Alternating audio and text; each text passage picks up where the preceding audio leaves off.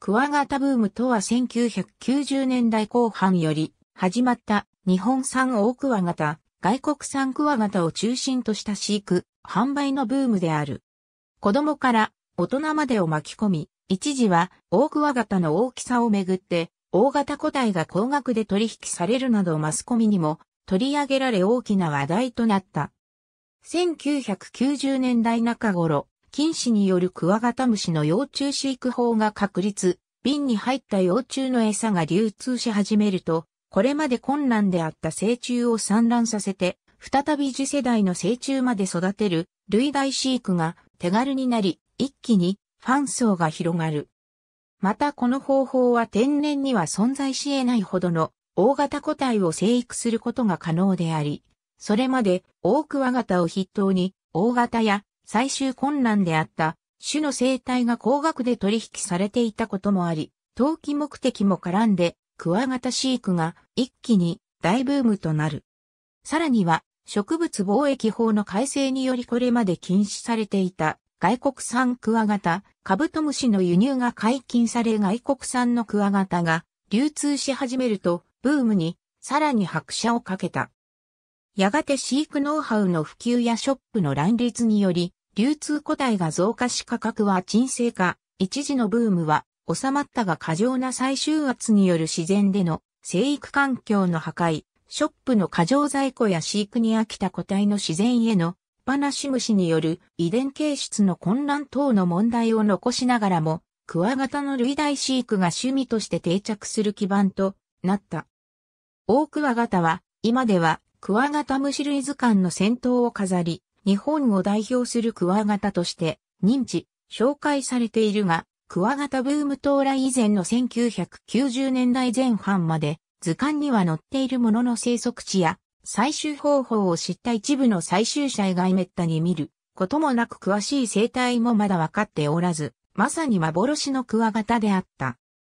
1986年の月刊虫第185巻に大クワガタ特集号が組まれ、成虫よりの採卵、幼虫の飼育方法が紹介され、話題にはなったが、まだ禁止による幼虫の飼育方法も確立される以前であり、流通に乗るほどの個体数も確保できなかったため、学会誌や昆虫専門誌、パソコン通信のフォーラムを情報発信の場として、熱心なファンや研究者の間で地道な観察、幼虫児の餌の研究が、細々と行われているだけにとどまっていた。これまで幼虫児の餌として使われてきたのは、自然下で幼虫が生息していた朽木や、同種の木を粉砕したマットが主流であったが、1992年頃、キノコ栽培業者の研究により、粉末化した材木に、キノコ類の菌糸を成長させた菌糸瓶が開発、商品化されたことにより飼育のハードルが下がる幼虫、飼育が普及、大クワガタの大型個体の生育が可能になった。この方法は、大クワガタ以外にも応用され様々な研究により、禁止瓶は進化しながら普及していく。1996年6月、植物貿易法が改正され、輸入が禁止されている生物であっても、申請を行い審査に通れば、輸入許可が出ることになり、1997年4月に施行された。これはあくまで博物館での展示や研究を前提とした制度であったが、2000年にはさらに制度が緩和され、2001年時点で40種以上のカブトムシやクワガタが輸入できる状況に至った。愛好家の間では、大型個体や珍しい種が高額で取引されるようになり、それを当て込んだ陶器の対象にもなった。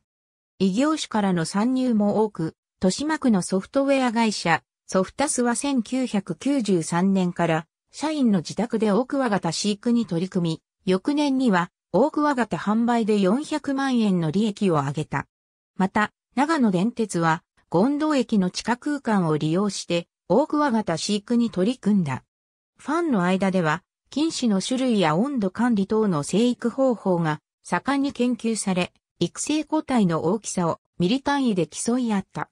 1999年には 80mm の大クワガタが1000万円で売買されたと報道が流れ、日本国外でも報道された。それまでは月刊虫でクワガタ関連の情報が掲載されていたが、2001年11月に月刊虫増刊として、甲虫類を専門に扱う専門誌である BE クワが創刊される。また、それに先立ち、1995年から1998年にかけて、甲虫類への人気の高まりを反映して、B ファイターシリーズと B ロボカブタックが放映される。それに追い打ちをかけるように2003年には、セガインタラクティブよりトレーディングカードアーケードゲーム甲虫王者、虫キングが発表。小学館の学年別学習雑誌や TV アニメーションなどのメディアミックスプロモーションによりさらにブームを後追いした。やがて高品質な禁止瓶の低価格化や飼育関連商品の充実、インターネットや雑誌等を通じて飼育ノウハウの情報が得やすくなったため家庭での飼育が普及、また研究により一部輸入希少種も飼育方法が確立し、流通個体が増え、バブルとも言える高額での取引にも陰りが見え始めブームは終焉を迎える。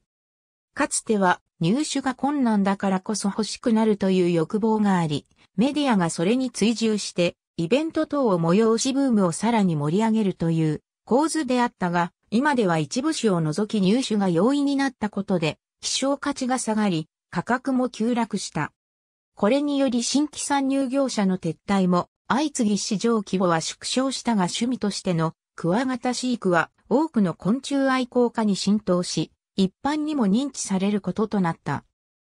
その一方、天然物の奥和型を求めるファンが有名な一部生息地に殺到、またかつては採集者が少なかったため大きな影響は与えていなかった在割採集法もブームが訪れると、マナーを守らない乱獲者により過剰に行われたため、自然下での幼虫の生育環境が激減、過剰な採集圧に開発等も重なり生息域はどんどん狭められており、2007年には環境省レッドリストにおいて、準絶滅危惧から絶滅危惧ツー類に引き上げられた。また、各都道府県においても、絶滅寸前種や絶滅危惧種 IA 類、要注目種に指定されている。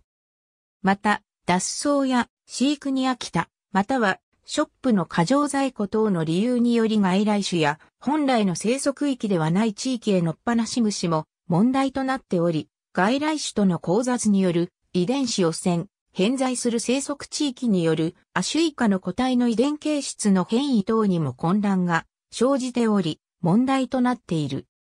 この問題を受け環境省では2005年に、クワガタムシを含む148種を要注意外来生物リストとして公表、外来カブトムシ、クワガタムシ逃がさないで、捨てないで緊急キャンペーンを行い小池百合子、環境大臣が専門店、ホームセンター、スーパー及び百貨店を訪問して、生き防止を呼びかけるポスターの掲示依頼及び、購入者に対する普及啓発を呼びかけた。ありがとうございます。